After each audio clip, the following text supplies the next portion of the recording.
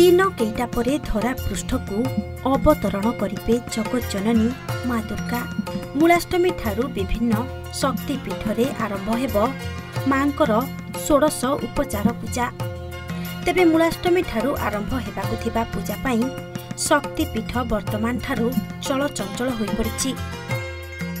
ପୁରୀ ଜିଲ୍ଲା କାକଟପୁରର ଅଧିଷ୍ଠାତ୍ରୀ ଦେବୀ ମା ମଙ୍ଗଳାଙ୍କ ପୀଠରେ ମଧ୍ୟ ମୂଳାଷ୍ଟମୀ ଠାରୁ ମହାଷ୍ଟମୀ ପର୍ଯ୍ୟନ୍ତ ଦିବାରାତ୍ର ହୋମ ଯଜ୍ଞ ଓ ଘଣ୍ଟ ଘଣ୍ଟାର ନାଦ ସହ ମାଙ୍କର ପୂଜା ଚାଲୁ ରହିବ।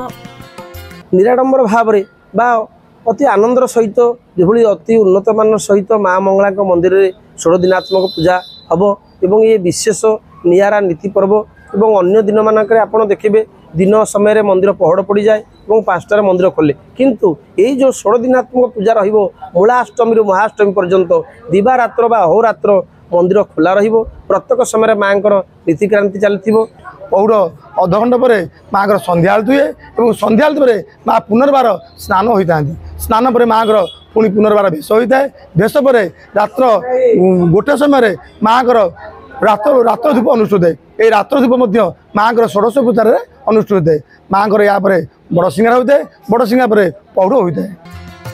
ମାଙ୍କୁ ଷୋଡ଼ଶ ଦିନାତ୍ମକ ପୂଜା ଆରମ୍ଭ ହୋଇ ସହସ୍ର କୁମ୍ଭାଭିଷେକ ଜଳ ସ୍ନାନ କରି ପୂଜା ଆରମ୍ଭ ହେବାକୁ ଥିବା ବେଳେ ଷୋଡ଼ଶ ପୂଜା ବିଧି ମଧ୍ୟରେ ନବଦିନାତ୍ମକ ପୂଜା ମଧ୍ୟରେ ଅଧିଷ୍ଠାତ୍ରୀ ଦେବୀ ମା ମଙ୍ଗଳା ବିଭିନ୍ନ ବେଶ ଯେପରିକି ନାଲିକଲି ବେଶ ଓ ରତ୍ନଗିରି ବିଜେ କଳାକଲି ବେଶ ଭୁଜ ଲାଗି ତିରକମାଣ ବେଶ କାର୍ତ୍ତିକର୍ପର ବେଶ ସିଂହବାହିନୀ ବେଶ ମହିଷାମର୍ଦିନୀ ବେଶରେ ମା ମଙ୍ଗଳା ଭକ୍ତଙ୍କୁ ଦର୍ଶନ ଦେବେ ତେବେ ମୂଳାଷ୍ଟମୀ ପାଖରୁ ମା ମଙ୍ଗଳାଙ୍କ ପାଖରେ ଷୋଡ଼ଶ ଉପଚାର ପୂଜାବିଧି ଆରମ୍ଭ ହେବ।